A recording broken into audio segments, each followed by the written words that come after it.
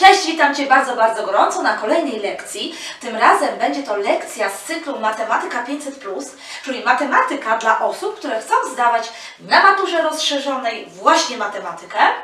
E, Zapraszam na odcinek poświęcony funkcjom trygonometrycznym ze szczególnym uwzględnieniem równań trygonometrycznych, które naprawdę bardzo często możesz spotkać w arkuszu maturalnym na poziomie rozszerzonym. A więc zapraszam do rozwiązywania zadań, które przygotowałam na to nasze specjalne spotkanie.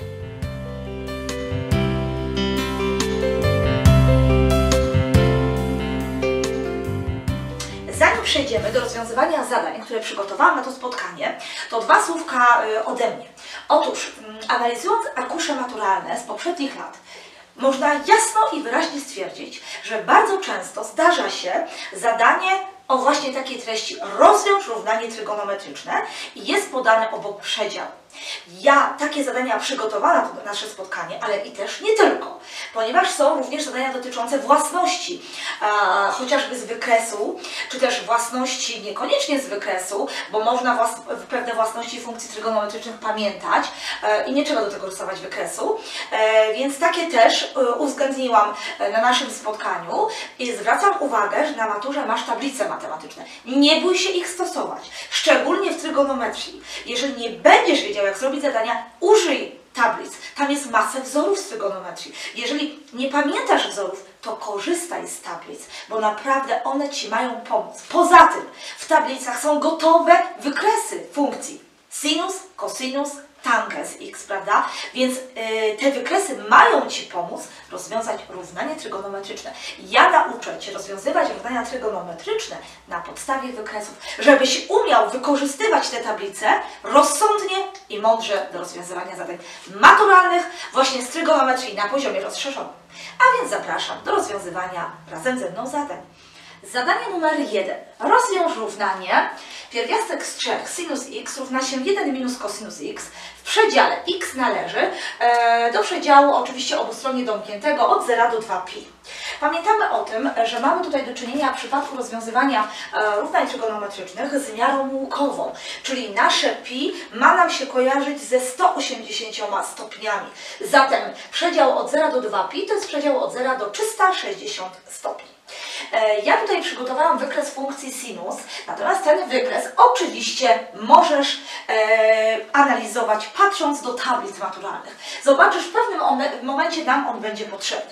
Na razie przejdźmy do takiego równania. Pierwsze co? Jest to równanie trygonometryczne, no więc raczej staramy się, żeby może te funkcje trygonometryczne były po jednej stronie, czyli ja tak przepiszę pierwiastek z 3 sinus x, ten minus cosinus x przepiszę, czyli będzie plus cosinus x równa się 1. I teraz tak, jest to dosyć trudne równanie trygonometryczne i często młodzież ma z tym problem. Dlaczego? Już powiem. Dlatego, że fajnie jest, rozwiązując równania trygonometryczne, doprowadzić e, w tym równaniu, żeby była tylko jedna funkcja trygonometryczna, czyli albo sinus, albo cosinus.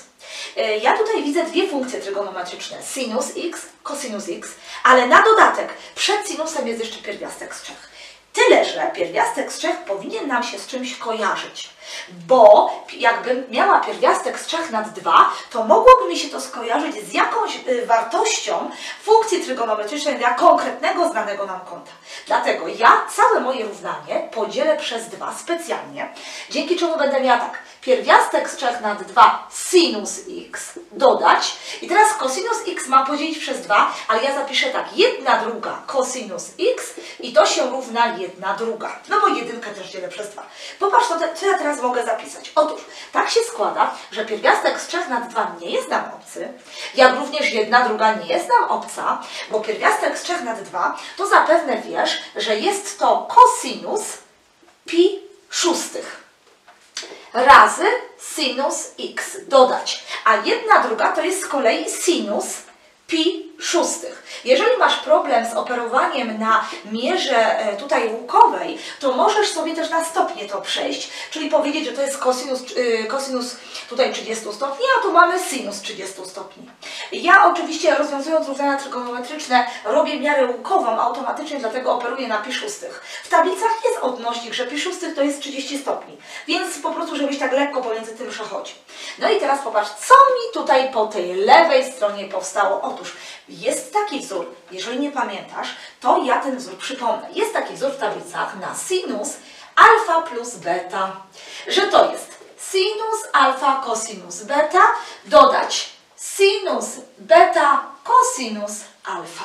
I tobie powinno się zawsze tak kojarzyć, że jest sinus pomieszany z kosinusem, ale uwaga, musi być tu x, tu x, tu pi szóstych, tu pi szóstych. Nie może być inaczej. Musi być konkretne alfa, konkretne beta. No to popatrzmy. U nas alfa, jeżeli ja tutaj biorę na początku, patrząc na ten wzór, mam sinus alfa, to moim alfa jest tak jakby x. A moim beta tutaj, prawda, jest tak jakby pi szóstych.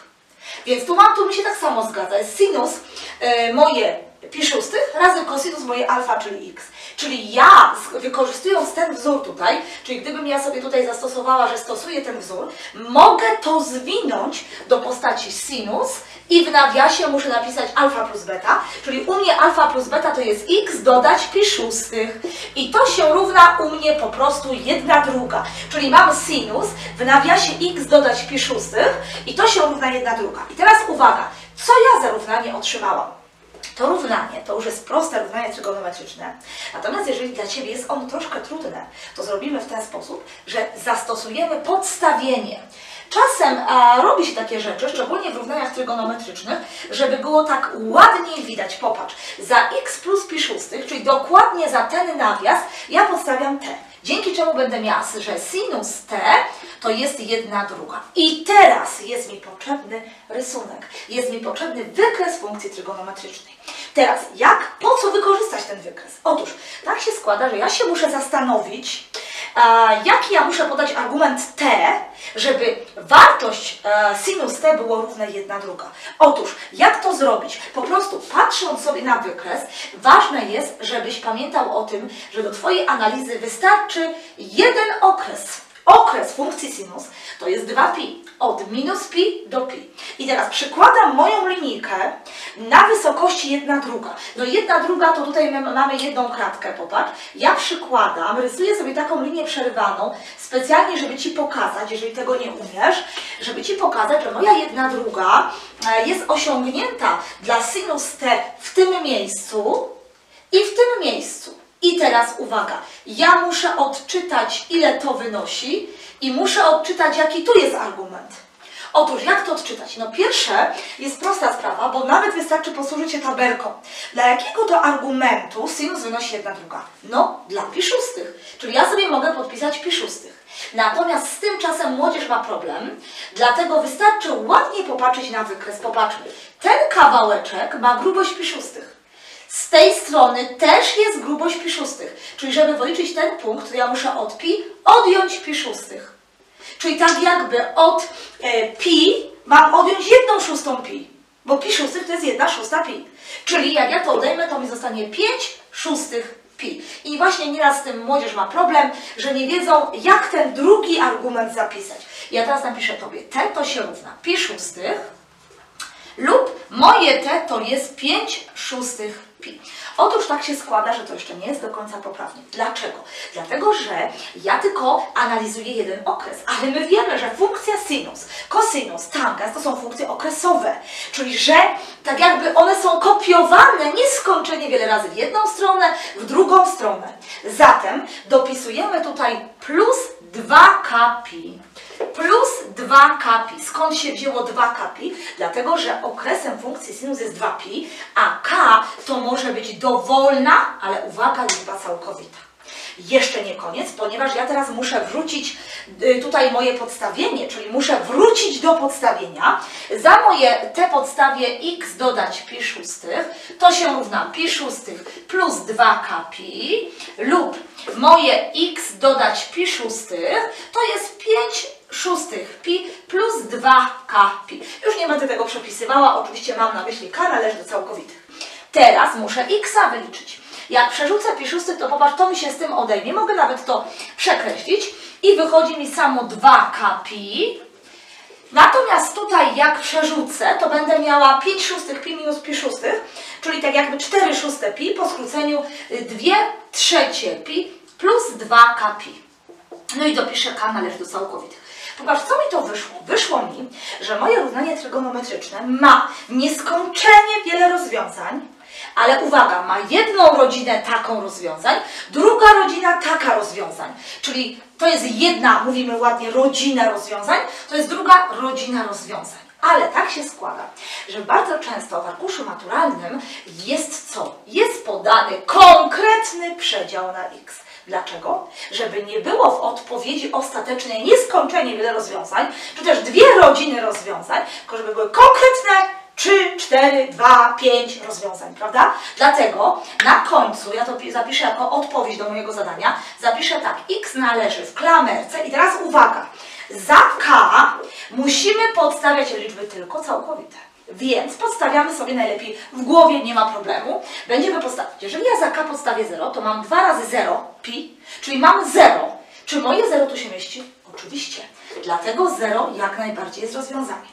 Dalej, za k całkowite, czyli za k mogę postawić jedynkę. Jeżeli za k postawię 1, mam 2 razy 1, to jest 2pi, czyli 2pi. Czy moje 2pi się mieści? Jak najbardziej. No to teraz ktoś mnie zapyta, czy mogę za k postawić dwójkę? Oczywiście, tylko że jak postawisz dwójkę, to masz 2 razy 2, czyli 4pi, a widzisz, 4pi się już nie mieści. To jaki sens jest próbować trójkę, czwórkę i tak dalej? Nie ma sensu, bo mamy początek naszego przedziału, koniec, nic w środku już nie otrzymujemy. Dobra, to teraz z drugiej rodziny rozwiązań myślimy, czy coś się da. Ja zawsze proponuję zacząć e, podstawiać od k równego 0, e, później brać k równe 1, k równe 2, e, też sobie lecieć w drugą stronę, k równe minus 1. Tylko bardzo często się tak zdarza właśnie, że e, jednak te k są dodatnie, jak się podstawia i one są wtedy poprawne, te rozwiązania. No to weźmy sobie k równe 0, czyli będziemy mieć 2 trzecie pi. Czy pasuje tu w środku 2 trzecie pi? Oczywiście. No więc ja napiszę 2 trzecie pi. No to dalej, jak za k weźmiemy 1, to mamy 2pi plus 2 trzecie pi, czyli 2 całe i 2 trzecie pi. Nie pasuje. A gdybym wzięła za k równe minus 1, bo widzę, że już tam dalej nie ma sensu brać, bo już nie pasowało, no to spróbujmy minus 1. 2 trzecie minus 2pi będzie, czyli będzie minus 1 cała i 1 trzecia pi, też nie pasuje. Czyli tak się okazuje, że nasze równanie w tym konkretnym przedziale, pamiętaj, tym przedziale, który ma podany w zadaniu, prawda? W tym przedziale mamy tylko i wyłącznie trzy rozwiązania. Jeżeli nie pasuje Ci, że są nie od najmniejszego do największego, możesz sobie posegregować od najmniejszego do największego rozwiązania. To jest przykładowe równanie trygonometryczne, do którego e, uczymy się wykorzystywać wykres funkcji trygonometrycznej, w tym wypadku sinus, który jest w tablicach matematycznych, z których możesz korzystać na maturze. Zadanie numer dwa. Uzasadnij, że jeżeli 2 tangens alfa minus sinus alfa dodać 5 cosinus alfa równa się 10, to tangens alfa wynosi po prostu 5. Czyli tak, jest to zadanie dowodowe, zatem założenie to jest to, co jest podane w treści, czyli oni nam podali w treści, że 2 tangens alfa minus sinus alfa dodać 5 cosinus alfa równa się 10, a to, co występuje po wspólniku to, to jest nasza teza. Czyli ja tutaj dopisuję teza, czyli ja mam wykazać, że tangens alfa po prostu wynosi 5. E, zanim przejdziemy do dowodu, to zwróćmy uwagę jeszcze na jedną rzecz. Skoro w założeniu występuje e, funkcja trygonometryczna tangens alfa, to my wiemy, że tangens to jest sinus alfa przez cosinus alfa. Powinniśmy samodzielnie dopisać założenie, że cosinus alfa nie może być zerem. Dlaczego? No bo wtedy by tangens nie istniał. Bo sinus podzielony przez cosinus, prawda, to jest tangens, a cosinus nie może być zerem, bo w mianowniku zera być nie może. Więc dopiszmy, nawet gdyby w treści nie było, lepiej dopisać. No to co? Mamy wykazać, że tangens alfa to 5, ale w zasadzie to my takie coś mamy dane. Takie równanko mamy dane. To ja to równanko oczywiście przepiszę, e, tak jak leci na razie i spróbujemy tak je poprzekształcać, pomyśleć, jak to poprzekształcać, żeby wyszło nam z tego, że tangens to jest przecież tego alfa równy 5. No to co, pierwsze co nam się nasuwa, to po pierwsze, widzimy bałagan, bo tak, tu jest jedna funkcja trygonometryczna, tu jest druga funkcja trygonometryczna, tu jest trzecia funkcja trygonometryczna. Dlatego jest bałagan. Na pewno raczej tak nie zostawiamy. Intuicyjnie oczywiście sinus e, nad cosinus to będzie tangens, dlatego zastosujemy sobie wzór. Czyli to będzie dwa razy sinus alfa nad cosinus alfa, a możemy tak na kresce ułamkowej napisać dalej. Minus sinus alfa dodać 5, cosinus alfa to się równa 10. No to co by można było zrobić? Można by było pomnożyć obustronnie przez cosinus alfa, żeby ten mianownik nam nie przeszkadzał. Czyli będę miała tak, 2 sinus alfa, bo to mi się z tym tak jakby skróci jak pomnożę. Dalej, minus sinus razy cosinus, to przepiszę sinus alfa razy cosinus alfa. Dodać 5 i teraz cosinus razy cosinus to jest cosinus w kwadracie, czyli cosinus kwadrat alfa. I to się równa 10 razy cosinus alfa, no to mamy 10 cosinusów alfa. Myślę, że intuicyjnie trzeba by było wszystko przenieść na jedną stronę, czyli przenosimy 2 sinus alfa minus. Sinus alfa cosinus alfa dodać.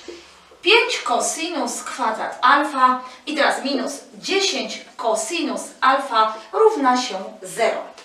Teraz musimy się zastanowić, co by można było ewentualnie ze sobą a, pogrupować, powyciągać, coś przed nawias, być może metoda grupowania, żeby to miało a, no, ręce i nogi, żeby to jakoś ładniej wyglądało, prawda? Więc zastanówmy się, co byśmy mogli e, wyciągnąć przed nawias. No, myślę, że z tych dwóch bylibyśmy w stanie wyciągnąć sinus alfa, bo tu jest sinus i tu jest sinus, a z tych dwóch składników pozostałych byśmy byli w stanie wyciągnąć nawet 5 cosinus alfa, o ile nie, jeszcze lepiej. No to wyciągamy. Z tego zabieramy do przodu sinus alfa, zostanie nam 2, odjąć cosinus alfa. I teraz uwaga, jeżeli ja tutaj y, wyciągnę bo widzimy, że tu jest cosinus i tu jest też cosinus, czyli mogę cosinus alfa wyciągnąć nawet z piątką, prawda? Tylko jest problem, czy wyciągnąć minus 5 cosinus alfa, czy plus 5 cosinus alfa. Musimy tak wyciągnąć, żeby ten nawias był identyczny. Ten, co tu nam wyjdzie, z tym, co tutaj mamy. Zatem, jeżeli bym ja zabrała tą a, minus piątkę, to miałabym, popatrz, e, jakbym zabrała minus piątkę, to bym zabrała minusa i powstała mi ta dwójka. Dlatego właśnie wyciągniemy minus 5 cosinus alfa. Jeżeli miałbyś z tym problem, to sobie najpierw wyciąg 5 cosinus alfa, a później dowyciągasz jeszcze minusa. To też nie jest jakaś tragedia. Czyli tak, popatrz, zabrałam z, z tej piątki piątkę, zabrałam minusa, czyli na pewno będę miała też minus i zabrałam jednego kosinusa, więc kosinus jeden mi zostaje. Teraz tak, zabrałam minusa do przodu, z dziesiątki zabrałam piątkę, czyli muszę napisać plus 2, no i zabrałam tego kosinusa do przodu. Zatem zamykam, nawias równa się 0. Popatrzmy teraz, czy ten nawias jest identyczny do tego? Oczywiście. Dlatego kontynuujemy metodę grupowania. To do przodu i oczywiście to też do przodu dajemy. Tak jak mówi nam metoda grupowania, ja będę pisała tutaj. Czyli ten nawias przepisuję 2 minus cosinus alfa, a w drugim nawiasie, zgodnie z metodą grupowania, mam tak, jak zasłonię to rączkami, to mam sinus alfa, i jak zasłonię to też rękami, to mamy minus 5 cosinus alfa. No to tak napiszę, minus 5 cosinus alfa i to się równa 0. Żeby z iloczynu, bo to jest uwaga iloczyn, wyszło 0, to albo pierwszy składnik, czyli moje 2 minus cosinus alfa jest 0, albo moje sinus alfa minus 5 cosinus alfa będzie 0. No to spróbujmy tutaj rozwiązać. Oczywiście jak przeniesiemy, wyjdzie nam, że cosinus alfa to się równa 2. Czy jest to możliwe? Jak pamiętasz wykres funkcji cosinus, to była taka, taka właśnie farbanka ładna, prawda? To wykres funkcji cosinus możesz zerknąć do tablic maturalnych. On się mieści w rozpiętości od minus 1 do 1 co do wartości. Więc on nigdy nie osiągnie dwójki, więc tu piszemy sprzeczność. Wyszło nam takie równanie, które tak naprawdę nie ma rozwiązania. No to się cieszymy, bo tam to, nie, to nam nie powinno wyjść, tylko popatrz, co nam powinno wyjść, że tangę alfa to 5. No to proszę bardzo, no to tutaj co zrobimy?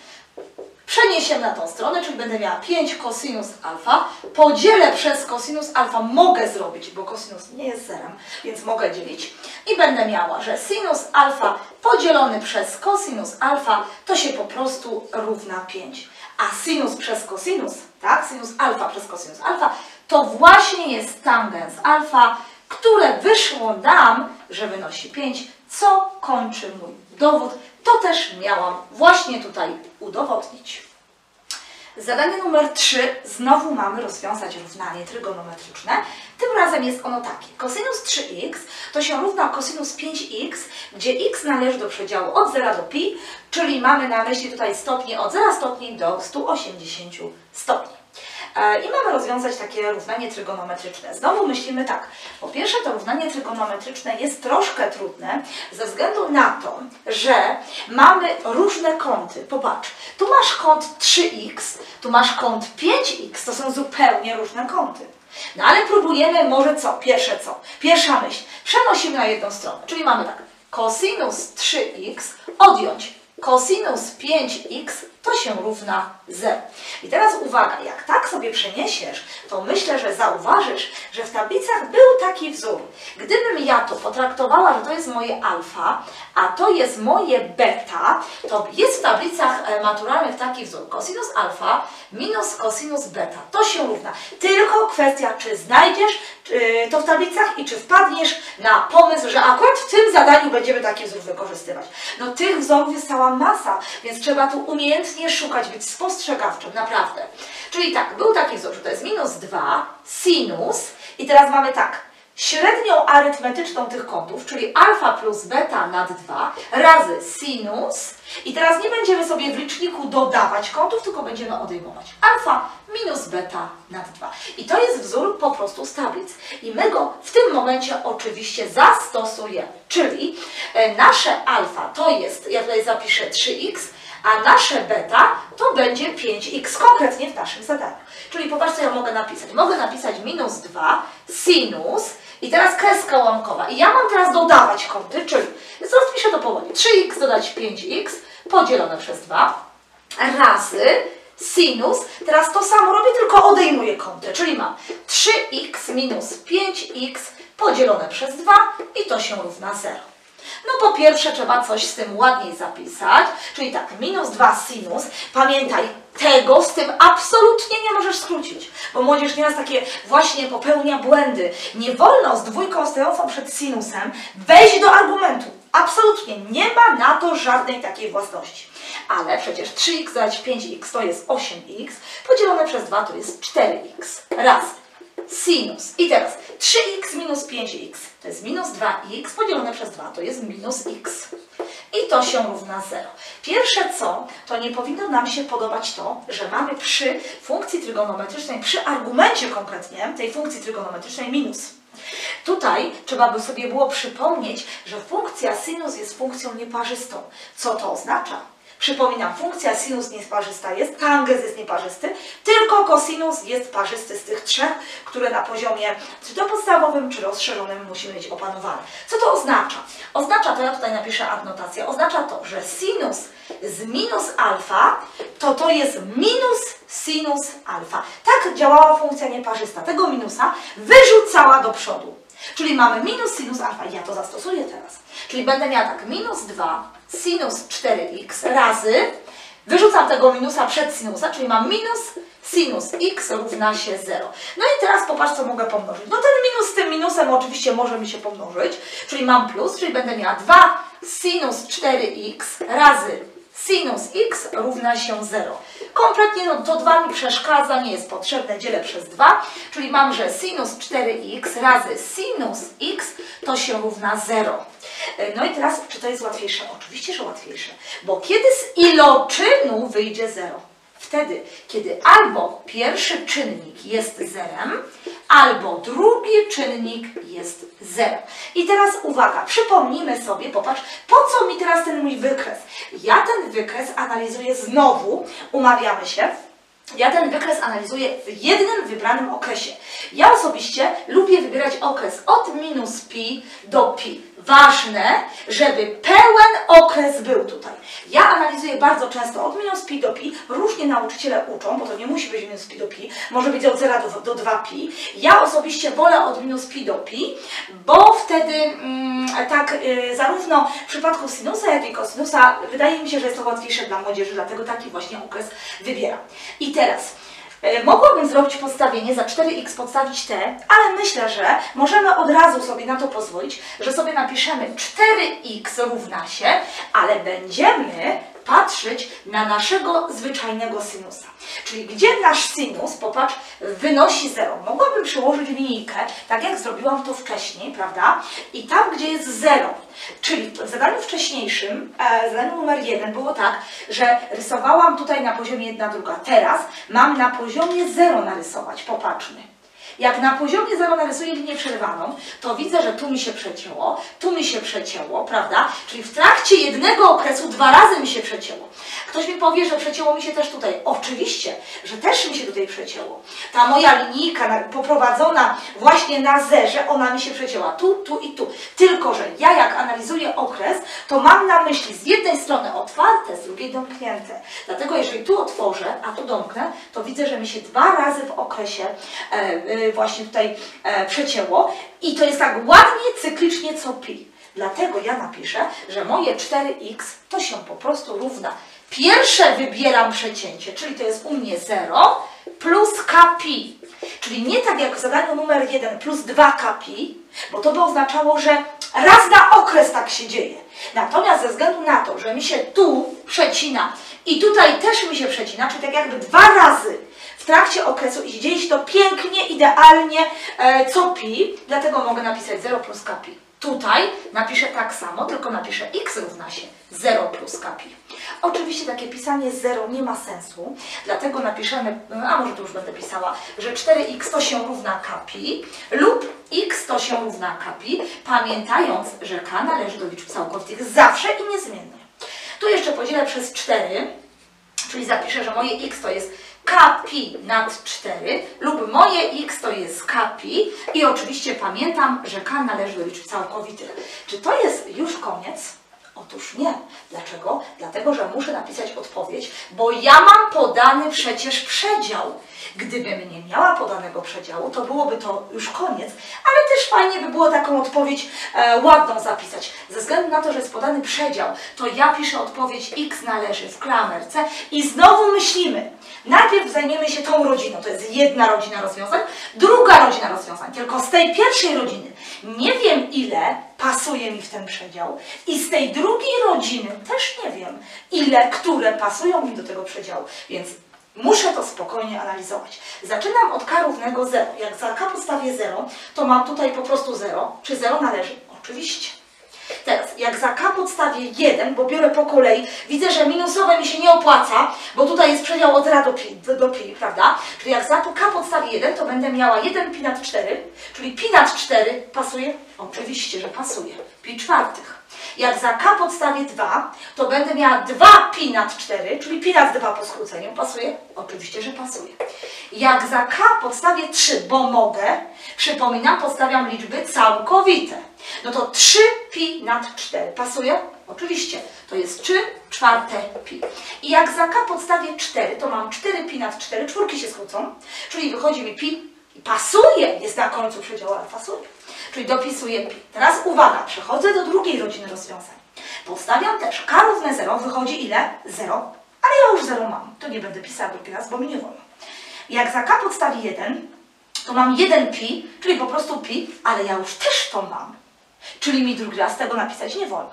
Jak za k bym chciała podstawić 2, to mi wychodzi 2 pi, a 2 pi mi już nie pasuje. Czyli to oznacza, popatrz, że w zasadzie e, te rozwiązania, które wypisałam z tej pierwszej rodziny, one mi się pokryły, e, niektóre, z rozwiązaniami z tej drugiej rodziny, ale ty tego od razu nie wiesz, prawda? Że ci się pokryje, że częściowo, że niektóre się pokryją, więc my ty musisz wszystko po kolei sprawdzić. Możesz sobie wypisywać dla k równego 0, dla k równego 1, ale myślę, że już na poziomie rozszerzonym, jak już chcemy równanie trygonometryczne rozwiązać, to musimy pewne rzeczy jednak tak szybciej sobie w głowie podstawiać te k i wypisywać po prostu rozwiązania. Czyli nasze równanie trygonometryczne w tym przedziale od 0 do pi ma, popatrz, 1, 2, 3, 4, 5 rozwiązań. Zadanie numer 4. Wyznacz najmniejsze dodatnie miejsce zerowe funkcji f od x równa się pierwiastek z 3 tangens x minus pi czwartych dodać 3. E, Ja przygotowałam oczywiście wykres funkcji tangens x. E, Mam na myśli tutaj wykres, który oczywiście możesz sobie kuknąć do tablic, bo on jest narysowany, ale ja będę się zajmowała oczywiście tylko i wyłącznie e, jednym okresem takiej funkcji tangens. Wiemy, że jest to funkcja okresowa. Ona jest taka specyficzna, prawda, ponieważ ma takie argumenty, dla których wartości nie występują w funkcji tangens, czyli po prostu dla których e, funkcja tangens nie istnieje. Dlatego są to liniami asymptotami takimi e, na, zaznaczone i nasz okres e, to jest od minus pi do pi, który będę analizowała. On ma rozpiętość oczywiście pi, czyli ja będę się zajmowała tylko i wyłącznie tym tangensikiem. Ja tutaj narysowałam jeszcze ten kawałeczek, ten kawałeczek, ale wcale tego szerokiego nie rysowałam, ze względu na to, że do analizy, do rozwiązywania tego typu zadań wystarczy nam jeden okres do analizy. Po prostu nam wystarczy jeden okres. Ja zazwyczaj wybieram to okres w przypadku sinusa, kosynusa od minus pi do pi, a w przypadku tangensa od minus pi drugich do pi drugich. Oczywiście możesz wybrać dowolny jaki chcesz. Dobrze. Pytanie było takie, żeby wyznaczyć najmniejsze dodatnie miejsce zerowe tej funkcji. To co? Skoro miejsce zerowe, to przyrównujemy ją do zera, nie? Pierwsze co, nawet nie patrzymy na wykres, bo za chwileczkę będziemy analizować wykres. Na razie przyrównujemy do zera tą funkcję. Miejsce zerowe, no to trzeba przyrównać do zera. No to tak, trójeczkę przenosimy tutaj i będę miała pierwiastek z 3, tangens x minus pi czwartych równa się minus 3. Dzielimy przez pierwiastek z 3, bo chcemy mieć samego tangensa, czyli mam tangens x minus pi czwartych, to się równa. Jak to podzielę, to będę miała minus 3 nad pierwiastek z 3. No nie za fajnie to jest, trzeba usunąć niewymierność, czyli razy pierwiastek z 3 licznik i razy pierwiastek z 3 mianownik. Zatem otrzymujemy tangens x minus pi czwartych, to się równa. I teraz uwaga, będziemy mieć minus 3 pierwiastki z 3 nad 3, trójeczki mi się skrócą co do jedynek i zapiszę, że tangens x minus pi czwartych to się równa minus pierwiastek z 3. Takie równanko jest już prawie najprostsze. Co zrobić, żeby było jeszcze prostsze? Użyć podstawienia. Czyli za x minus pi czwartych podstawić t. Ja staram się raczej robić podstawienie, aniżeli przesuwać wykres o wektor. Jeżeli muszę, przesuwam, ale jeżeli nie ma takiej potrzeby, staram się robić podstawienie. Dlaczego? Ponieważ teraz jak ja za to, co mam tutaj w nawiasie, postawię t, to będę miała tangens t, to się równa minus pierwiastek z 3. I teraz to, co ja otrzymałam, jest to proste równanie trygonometryczne, ale równanie trygonometryczne, w którym występuje funkcja tangens.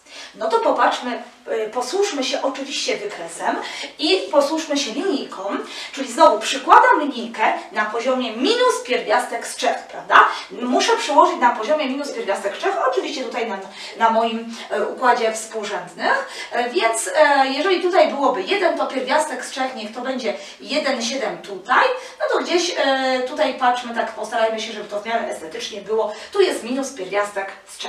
No to przykładam i znowu rysuję linię przerywaną, ale tylko analizuję ten mój jeden okres, bo później sobie dopiszę plus kapi, prawda? Bo plus okres. Tej, tej rodziny rozwiązań jest nieskończenie wiele jest elementów tej rodziny, ale ja muszę wyznaczyć jeden, zapisać w formie tej mojej rodziny rozwiązań, czyli potrzebuję ten argument. Popatrz, jak łatwo ten argument tutaj e, odczytać. Dlaczego łatwo? Ponieważ pamiętasz zapewne, że tangens jakiego kąta był równy pierwiastek z trzech? Oczywiście tangens kąta pi trzecich, prawda? Pi trzecich. Zatem, skoro tangens pi trzecich to pierwiastek z trzech, czyli pierwiastek z trzech e, był osiągnięty dla pi trzecich, tu tutaj było pi trzecich, to znaczy się, że ze względu na to, że jest to funkcja nieparzysta, tu będzie minus pi trzecich. Czyli jak tu jest pi trzecich, to jak ja potrzebuję mm, e, właśnie wartość minus pierwiastek 3, to będę miała minus pi trzecich. Zatem wyciągam wnioski moje, że moje t to jest minus pi trzecich plus oczywiście kpi, gdzie k należy do liczb całkowitych. Oczywiście nie zapominamy o tym, dlatego kpi, ponieważ funkcja tangens ma okres pi. Skoro ma okres pi, dlatego piszemy tutaj plus kapi. I popatrz, moja ta linia przerywana, ją czerwono narysowałam, tylko raz mi się przetnie. Dlatego nie piszę żadnego lub. W sinusie, w kosinusie tam się czasem pisało, prawda? Ale w tangensie nie piszemy, tylko raz przecinamy w okresie. Ale jest to rodzina rozwiązań, tu mam jednego tangensika, tu bym miała drugiego, tu bym miała trzeciego i tak w nieskończoność. W tą stronę, w tą stronę, w tą stronę, w tą stronę. Dlatego ja piszę, tworzę tak jakby jedną rodzinę rozwiązań. Oczywiście to nie jest koniec. Dlaczego? No bo muszę wrócić do podstawienia, prawda? Czyli za mojego t podstawiam x minus pi czwartych i to się równa minus pi trzecich plus k pi. No to co? No to przerzucam na tą stronę, czyli mam x to się równa. Od razu widzę, że jak przerzucę, potrzebuję wspólny mianownik. Będzie nim 12, czyli ja napiszę 12. Tutaj razy 3 to będę miała 3 pi nad 12 na plusie minus, tu też będę miała 12 razy 4, czyli będę miała 4 pi i plus k pi. Czyli x to się równa i będę miała minus pi dwunastych, jak to odejmę, 3pi minus 4pi to jest minus pi na 12 będę miała, prawda?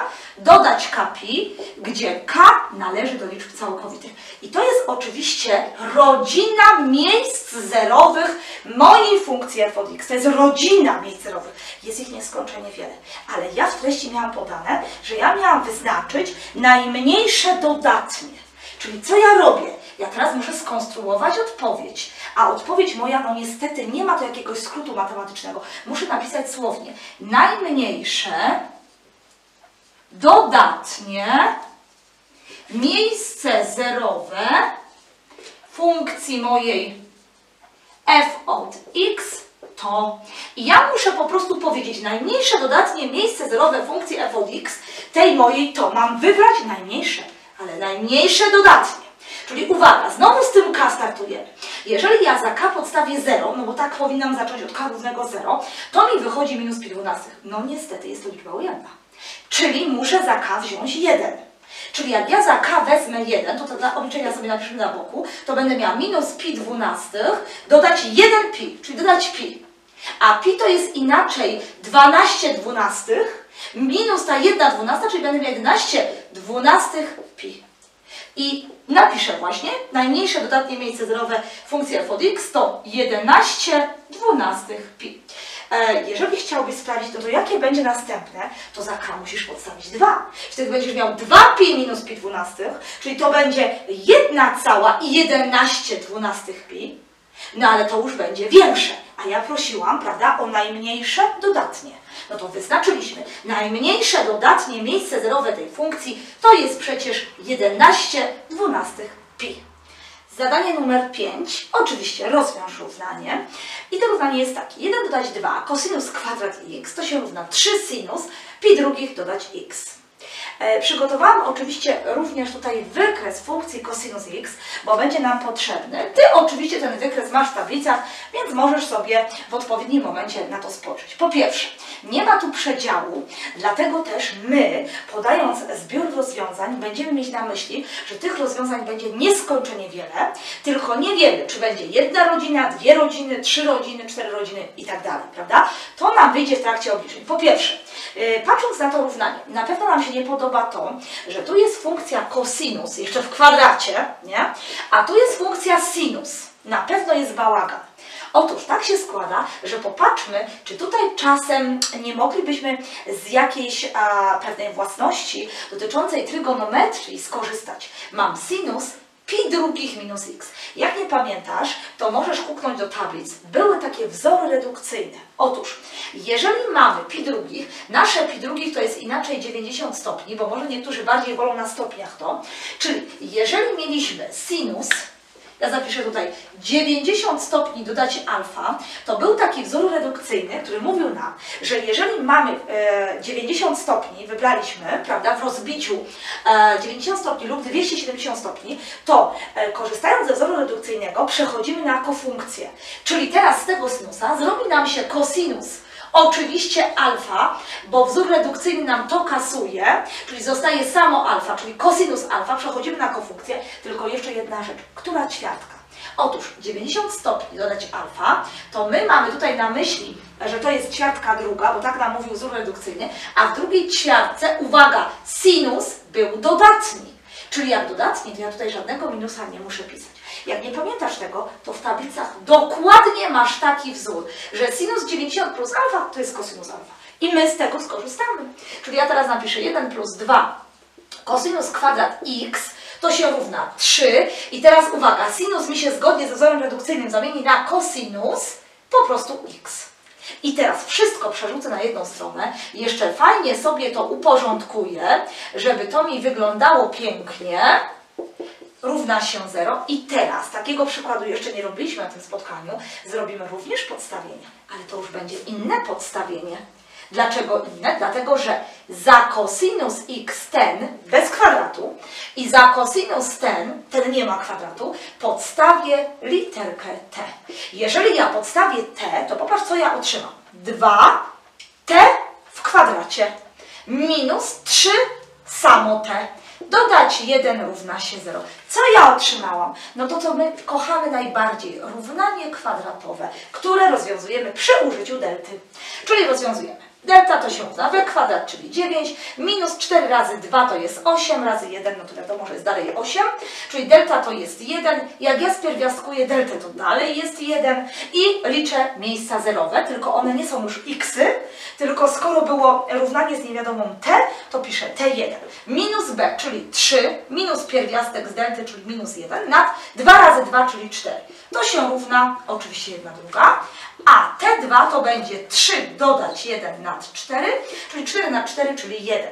Ja tak nie mogę zostawić. Ja muszę wrócić do podstawienia. No po to się robi podstawienie, żeby później do niego wrócić.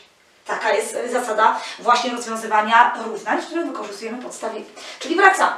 Cosinus x wyszło nam, że jest jedna druga, albo Cosinus x wyszło nam, że jest równe 1. Ja zacznę od tego drugiego. Dlaczego? Bo teraz przyłożę znowu linijkę, tak jak to robiłam w poprzednich przykładach. I znowu, popatrz, mam przygotowany właśnie wykres funkcji cosinus x.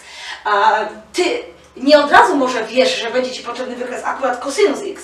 Ja to wiedziałam, ale Ty, nie wiedząc, wychodzić na maturze takie coś i teraz patrzysz sobie na wykres funkcji cosinus x, którą masz w tablicach. No to teraz patrzymy. Cosinus x kiedy wynosi równa się 1, czyli kiedy przyjmuję wartość 1. Przykładam linijkę, tylko uwaga znowu, analizuję mój jeden główny okres. Ja lubię analizować od minus pi do pi. Więc ja analizuję ten okres odtąd dotąd. Oczywiście mam na myśli rozpiętość. Moja rozpiętość to musi się zgadzać z tym, jaki mam okres. Czyli funkcja cosinus x ma okres 2pi. Dobrze, czyli ja teraz na wysokości jedynki przykładam linijkę.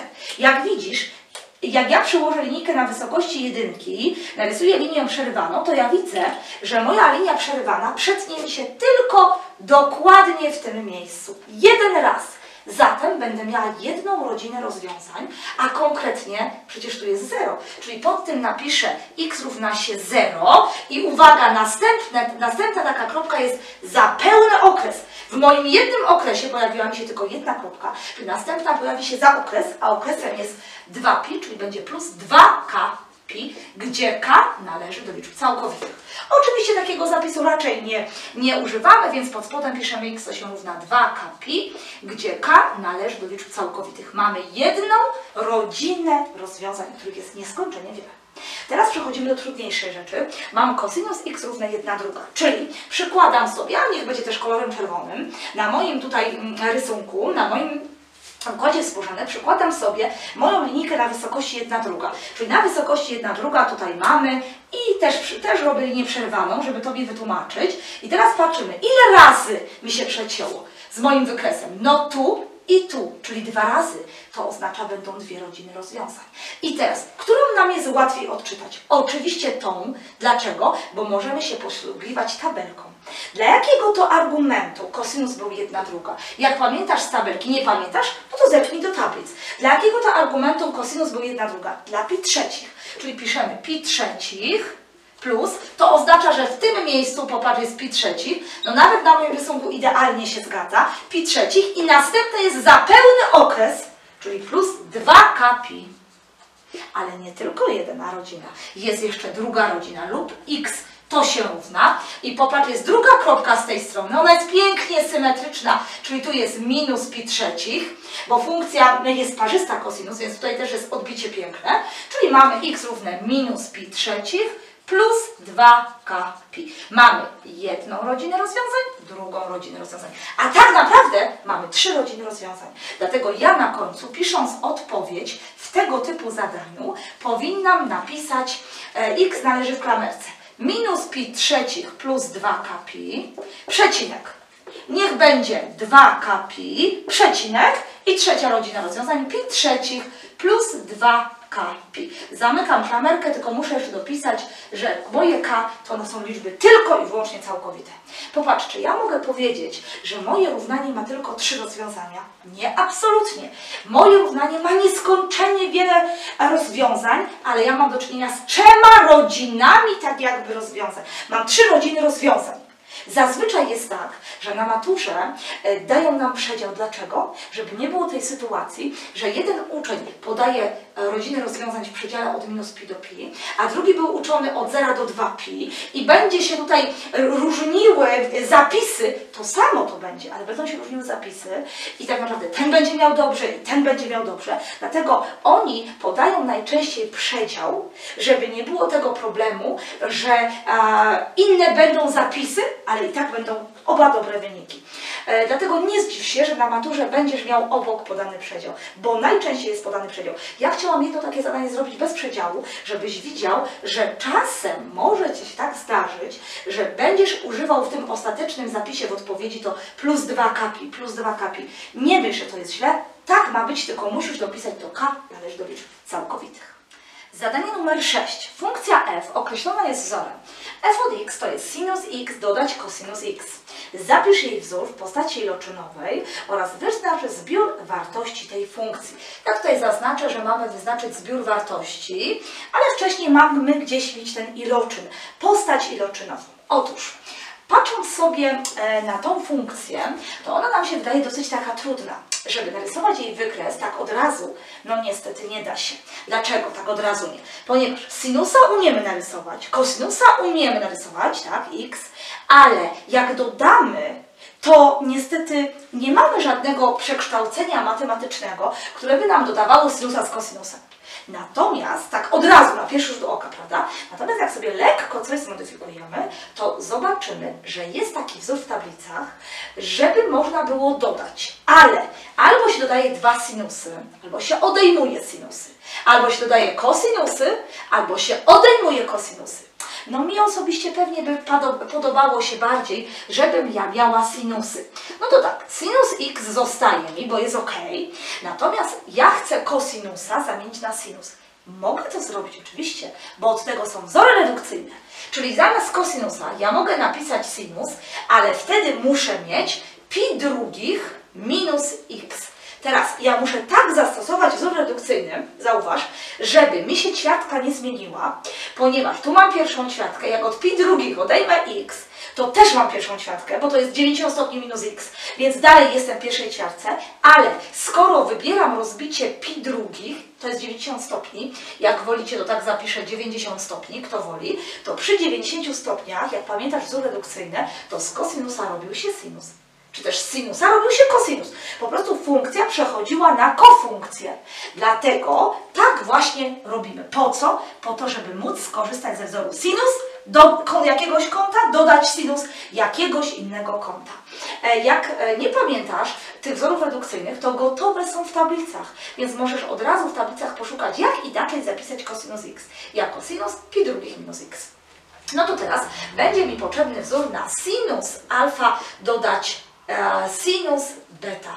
To się równa 2 sinus i teraz tu się będzie dodawało, czyli alfa plus beta nad 2 razy cosinus, a tu się będzie odejmowało w liczniku alfa minus beta nad 2. Jest to wzór z tablic, ten co tutaj napisałam, wzór z tablic. Jak nie pamiętasz, to musisz otworzyć tablice matematyczne i faktycznie taki wzór znajdziesz. No mi, mi się podoba, żeby go zastosować.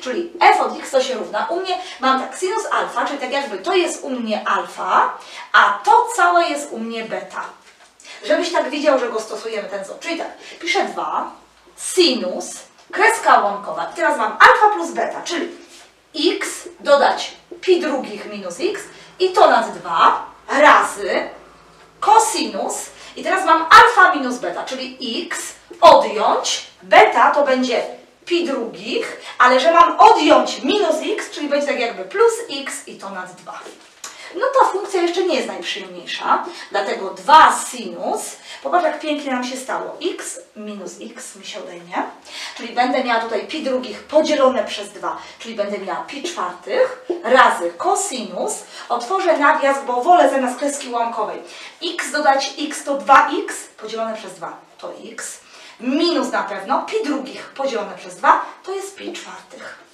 Jeszcze da się łatwiej, oczywiście, bo sinus pi czwartych, jak pamiętasz, on dokładnie, właśnie wiemy ile wynosi z tabelki, pierwiastek z 2 nad 2. No to podstawmy. Moja funkcja będzie miała teraz e, taki wzór 2 razy pierwiastek z 2 nad 2, kosinus, no niestety z, nim, z tym nic nie zrobię. Muszę przepisać tak jak widzę, kosinus x minus pi czwartych. Dwójeczki mi się tutaj skrócą, mamy jeszcze pięknie napisaną moją funkcję. Pierwiastek z 2, kosinus x minus pi czwartych. Niestety nie da się już lepiej. To już jest najpiękniejszy wzór, jaki mogę sobie wyobrazić. Oczywiście na upartego mogłabym spróbować narysować wykres tej funkcji. Ale ja specjalnie tutaj mam przygotowany wykres kosinusa. Dlaczego? Dlatego, że chciałam Ci pokazać, e, to możesz przy użyciu tablic też ten wzór, jak nie pamiętasz, skorzystać z tablic. Chciałam Ci pokazać, że to moje minus pi czwarte, które występuje za x, informuje mnie o przesunięciu wektor. Jeżeli ja tą sprężynkę moją będę przesuwała o pi czwartych w prawo w tym wypadku, to zbiór wartości, o który mnie prosi, się nie zmieni. Przesunięcie prawo-lewo nie zmienia zbioru wartości. Popatrz, ja tylko tak przesuwam, nie zmienia mi się zbiór wartości. Zatem e, mogłabym powiedzieć, że mój kosinus x minus pi czwartych jest ograniczony, wiadomo czym, minus jedynką, jedynką. Popatrz, od minus 1, tu mamy minus 1, aż do 1. Powyżej nie ma, poniżej nie ma. No to teraz, a ja potrzebuję pierwiastek z dwóch, ten kosinus.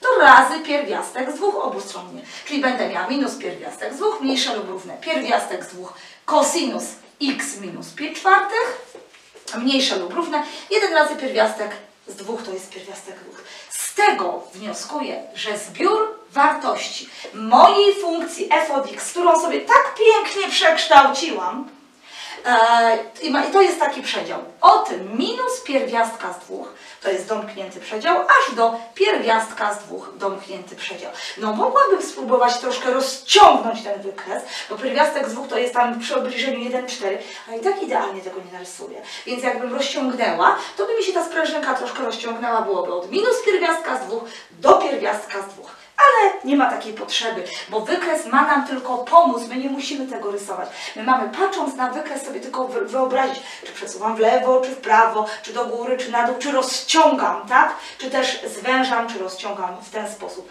wykres funkcji trygonometrycznej. Dobrze, a ja tam jeszcze poprosiłam o postać iloczynową. Otóż tak się składa, że postać iloczynowa to w zasadzie już nawet tu jest, tylko tu jest jeszcze lepsza. Tu jest jeszcze lepsza. A tu jest super najlepsza. Tu jest mnożenie w domyśle. Więc to, co tutaj otrzymaliśmy, to jest postać iloczynowa. Postać iloczynowa to znaczy, że musi występować jakiś iloczyn. Ale zawsze staramy się podawać jak najprostszej postaci. No to jest jak najprostsza postać. Dostaliśmy taką funkcję f od x z postacią iloczynową, a to jest jej zbiór wartości, który wywnioskowaliśmy na podstawie wykresu, na podstawie odpowiedniego oszacowania. Na to nasze spotkanie przygotowałam sześć zadań. Myślę, że te zadania wybrałam tak, postarałam się wybrać, żeby właśnie była zawarta ta, to, co najważniejsze na poziomie rozszerzonym równania, rozwiązywanie równań trygonometrycznym z uwzględnieniem przedziału, ale również korzystanie mądre, inteligentne korzystanie z wykresu funkcji. Poprzez właśnie popatrzenie, jak wykres funkcji trygonometrycznej, który nie jest rzeczą łatwą, ale jest gotowy w tablicach. Jak sobie zapomnisz, jak wygląda wykres cosinus x, czy też sinus x, czy też tangens x, korzystaj z tablic mądrze. To znaczy, nie musisz całego wykresu analizować. Wystarczy, że zanalizujesz jeden główny okres, nawet rozwiązując równanie tak jak ro robiłam ja. Analizowałam okres odpowiednio dla sinusa, dla kosynusa, dla tangensa, to się tam różniło, prawda, nieznacznie i podawałam pewne rodziny rozwiązań. Jeżeli jest podany przedział, to z tych rodzin rozwiązań wybieramy kilka, te, które pasują do zadanego przedziału. Tutaj zadanie jest zupełnie inne, bo w tym zadaniu wykorzystujemy właśnie e, zbiór wartości, czyli tak jakby własność funkcji trygonometrycznej, ale zanim to, to popatrz, musieliśmy wzory zastosować, które są gotowe w tablicach do zastosowania, żeby dojść do postaci, z której dopiero wtedy łatwo jest oszacować zbiór wartości. Mam nadzieję, że to nam w zupełności wystarczy do tego, żeby móc na maturze właśnie rozszerzonej rozwiązać zadanie, e, gdzie będzie równanie trygonometryczne, czy też zadanie z funkcją trygonometryczną e, przy wykorzystaniu własności, które między innymi pomagamy sobie przy użyciu wykresu, e, jeżeli chcemy odczytać, prawda? Musimy posiłkować się wykresem, pamiętamy o tym. Wykres to jest podstawa. Funkcja sinus, cosinus, tangens to są funkcje okresowe, czyli tych kawałków funkcji sinus, kosinus jest nieskończenie wiele. One są cyklicznie takie same, dlatego taka nazwa, okresowa funkcja. Sinus, kosinus, tangens. Mam nadzieję, że lekcja będzie przydatna do matury.